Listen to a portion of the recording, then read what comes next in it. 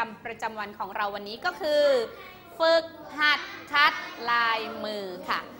อ้าวฝะใช่แล้ววันนี้สมุดที่จะคัดคือสมุดแบบฝึกหัด เนื่องจากวันนี้คุณครูจะนำความรู้เรื่องคำคล้องจองนะคะ มาให้นักเรียนได้ทบทวนอีกครั้งหนึ่งนะคะคำคล้องจองเมื่อวันก่อน สืบเนื่องจากว่า สอนคำขวัญแล้วคำคล้องจอง นักเรียนห้องนี้บอกว่า ไม่ค่อยจะเข้าใจดังนั้น เดี๋ยวจะให้มาทำไมคะ มาทบทวนใหม่ พร้อมหรือยังคะ พร้อมหรือยังครับ พร้อมแล้วอ้าวทุกคนเงยหน้าขึ้นมาก่อน วางดินสอเงยหน้าขึ้นมองจอโทรทัศน์ อ่านความรู้ตรงนี้พร้อมกันเดี๋ยวเราจะคัดตรงนี้นะ คัดเพื่อทบทวนความรู้เขาบอกว่าคำ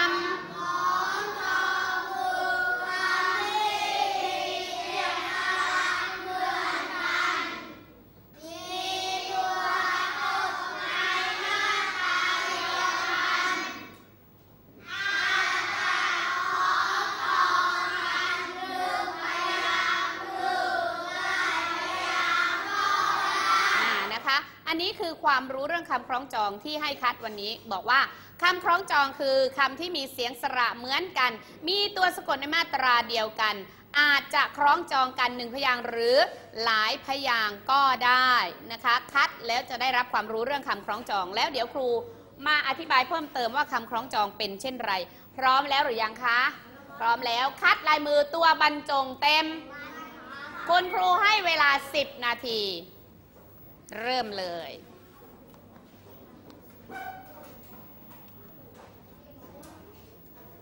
วันนี้ไม่คัดให้ดูนะแพงมาเรียนภาษาไทยกันเถอะ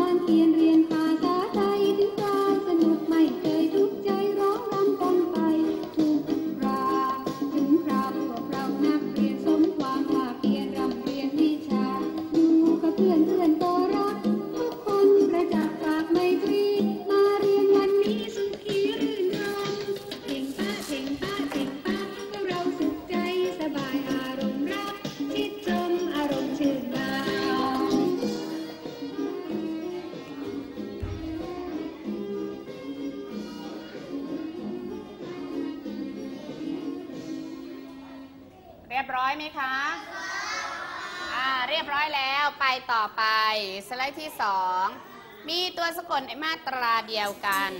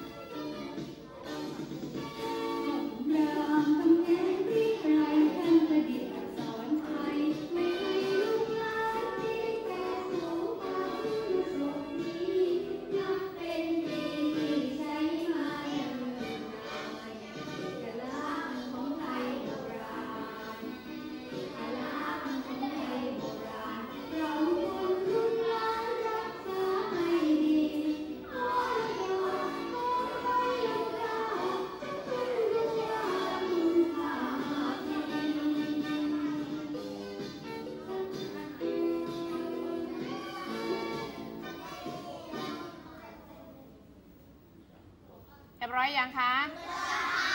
อ้าวต่อไป มีตัวสะกดในมาตราเดียวกัน แล้วบอกว่าอาจจะคล้องจองกันหนึ่งพยางหรือหลายพยางก็ได้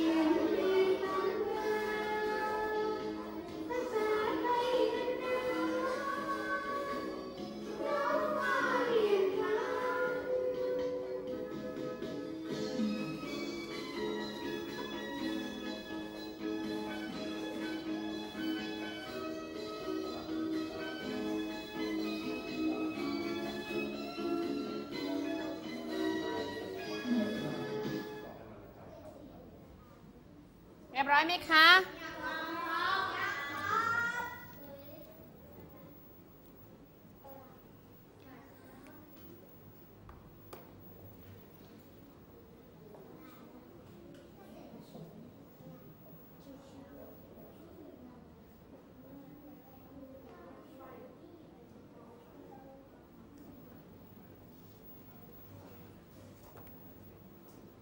วันนี้ตัวที่เหมือนกันก็คือ ซ้ำๆกันหลายตัวก็คือตัวอะไรคะออ่างใช่ไหม แล้วก็อะไรอีกคะพอพาน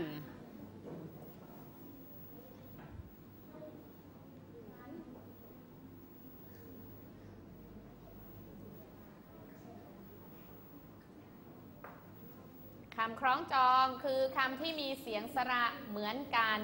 มีตัวสะกดในมาตราเดียวกัน อาจจะคล้องจองกันหนึ่งพยางหรือหลายพยางก็ได้แค่นี้เอง เวลานักเรียนคัดนักเรียนขานักเรียนคัดตามสไลด์ครูมิงอีกใช่หรือไม่ ตามสไลด์หมายถึงตัวหนังสือตามสไลด์แต่บรรทัดไม่ได้ตามสไลด์ใช่ไหมคะ เพราะบรรทัดของนักเรียนกับหน้าจอโทรทัศน์ครูเท่ากันไหมไม่เท่ากัน สิ่งนี้ครูเคยบอกเสมอๆใช่หรือไม่ ใช่แล้วอ้าวเรามาดูซิสมมติว่านี่คือกระดาษของคุณครูนะคะ คุณครูก็คัดตามกระดาษของคุณครู นักเรียนก็ต้องคัดตามกระดาษของนักเรียนเห็นไหมอ่า อันนี้สมมุติเป็นกระดาษครูมิ้งเห็นไหมครูมิ้งไม่ได้คัดว่าคำคล้องจองคือ คือแล้วก็มาตรงนี้ใช่ไหมคะ เพราะว่ากระดาษของครูยังมีอีกยาวใช่ไหม มีใครบ้างที่คัดเป็นท่อนๆท่อนๆเหมือนกับในจอโทรทัศน์บ้าง มีไหมคะ มีเจษดาคงศรีคนเดียว นอกนั้นเริ่มเข้าใจแล้วใช่ไหมที่จริงมันน่าเข้าใจตั้งแต่ปอะไรละปหนึ่งแล้วพอต้องเรียนมานะคะอ้าวทุกคนคัดเรียบร้อยแล้วเงยหน้าวานิสอนเงยหน้าขึ้น แล้วอ่านความรู้พร้อมกันอีกครั้งบอกว่าคำ